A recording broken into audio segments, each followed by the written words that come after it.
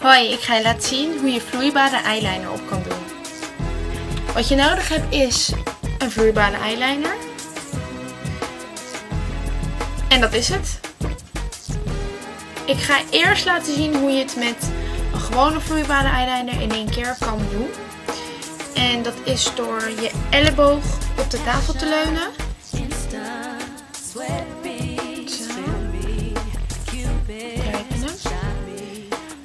En terwijl je leunt, dus dan heb je minder kans dat je trilt, leun je hiermee op je kaak, zeg maar, of op je wang. En dan ga je het aanbrengen. Ik begin altijd een beetje in het midden.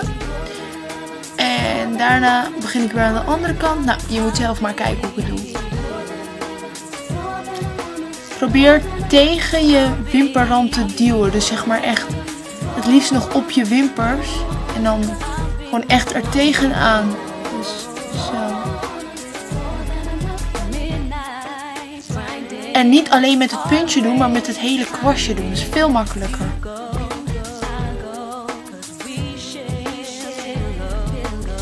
Ja, dan heb ik dit gedaan, dan doe ik hier.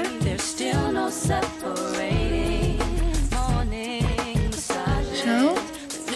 En dan ga ik dit een beetje strak houden en dan doe ik de binnenkant.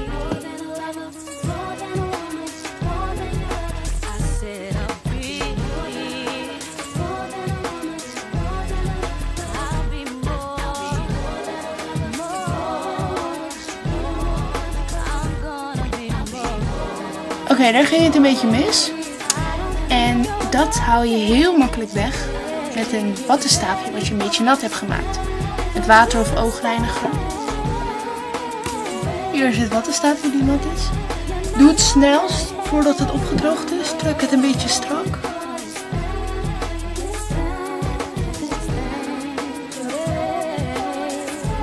Zo.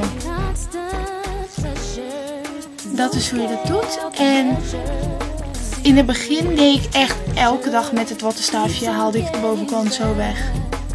En na een tijdje dan leer je gewoon hoe het zonder kan.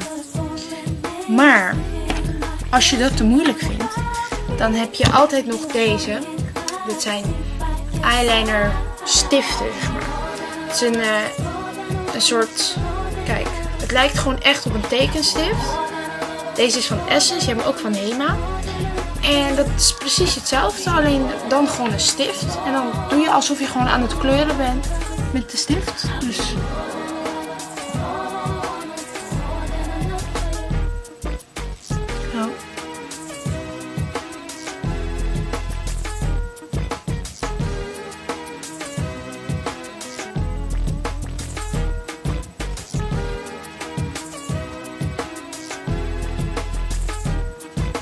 Deze is toch ietsje lichter en ziet er toch een beetje anders uit.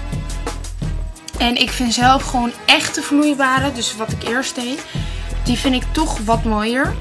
Maar als je dat niet kan, dan kan je altijd met zo'n stift beginnen.